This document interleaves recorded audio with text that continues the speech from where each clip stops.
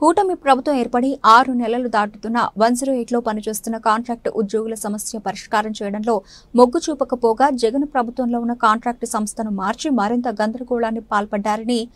CITU జిల్లా కార్యదర్శి కాలం Subbarao demand చేశారు ఆంధ్రప్రదేశ్లో బాబు ప్రభుత్వం వచ్చిన తర్వాత వన్ జీరో ఎయిట్ ఉద్యోగులు ఆందోళన బాట పట్టారు ప్రకాశం జిల్లా ఒంగోలులో వన్ జీరో ఎయిట్ కార్మికులు సమ్మెకు దిగారు ఈ సమ్మెలో ఎర్రగొండ పాలన నుంచి వన్ జీరో ఎయిట్ లో పనిచేస్తున్న పలువురు ఉద్యోగులు సంఘ నాయకులు పాల్గొన్నారు తమ సమస్యల పరిష్కారం హక్కుల సాధన కోసం యూనియన్ సంఘ నాయకులతో కలిసి ఒంగోలులో జరిగిన ర్యాలీలో పాల్గొన్నారు తర్వాత కలెక్టర్ కార్యాలయం ముందు జరిగిన ధర్నాలో పాల్గొన్నారు ఈ సందర్భంగా ఎర్రగొండ పాలన నుంచి పాల్గొన్న వన్ జీరో ఎయిట్ ఉద్యోగ సంఘ నాయకులు షేక్ సుభానీ ఒంగోలులో తన గళం విప్పారు సకాలంలో వేతనాలు అందక నానా యాతనలు పడుతున్నామని తమ సమస్యల పరిష్కారం విషయంలో ప్రభుత్వం చొరవ తీసుకోవాలని డిమాండ్ చేశారు